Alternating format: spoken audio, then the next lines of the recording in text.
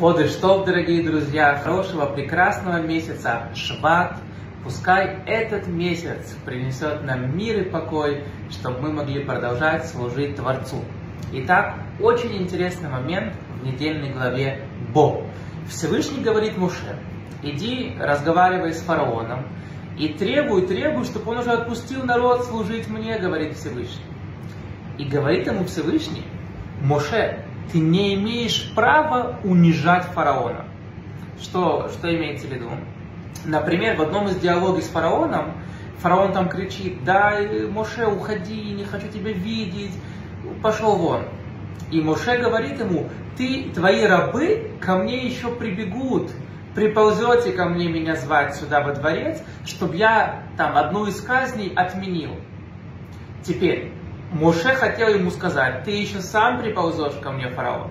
Но из-за того, что Всевышний сказал Моше, не смей позорить фараона, говори с ним как с царем, то Моше изменил свою формулировку. И он ему сказал, твои рабы ко мне еще приползут за помощью. Теперь, Всевышний запрещает фараона унижать.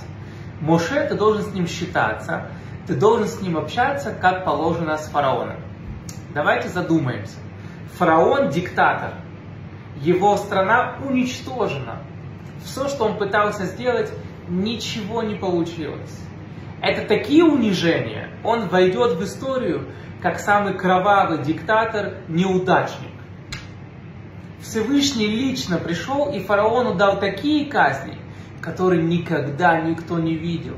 Его унизили, но больше некуда. Какая разница фараону, что Моше его не унижает?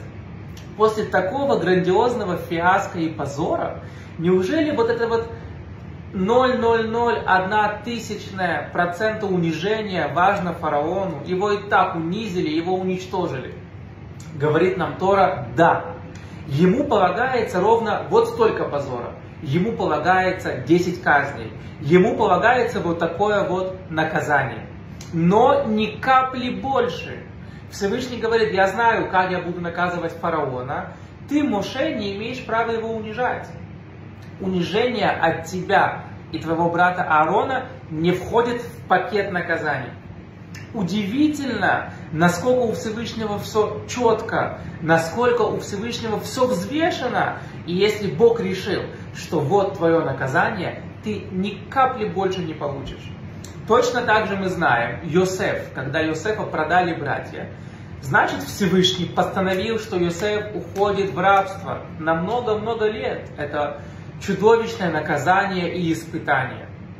Но нам известно, что в дороге его перевозили в вагоне, в котором перевозили приятный запах. Почему? Зачем нам Тора это сообщает? Потому что его как бы испытание, наказание должно было состоять из вот этих всех лет нахождения в Египте без папы Якова, без семьи Якова. Но в наказание не входило, что в дороге ему должно быть невыносимо душно и тяжело. Поэтому в дороге он находился возле приятного запаха. Опять же, ну какая разница Иосифу, что там у него за запах в дороге? Он уезжает от папы, уезжает в рабство на многие десятилетия. Ну какая ему разница? Есть разница. Всевышний ровно, четко измерил, что сейчас будет в судьбе Иосифа. Не больше испытаний, чем то, что Всевышний для него подготовил. Не входит в испытание Иосифа, что в дороге не будет плохого запаха. Четкая бухгалтерия. Не входит в наказание фараона, что Моше его будет унижать. Наказание огромное, бесконечное, 10 казней но туда не входит, что Моше будет его унижать. У Всевышнего четко и ну, до миллиметра все прописано. И если, например, кто-то говорит, ой, вот он женился в 19, а я женился в 55, потому что Всевышний так хотел. У него 15 детей, а у этого один или два, потому что Всевышний так хотел. Всевышний четко просчитывает для каждого его судьбу в зависимости от его деяний.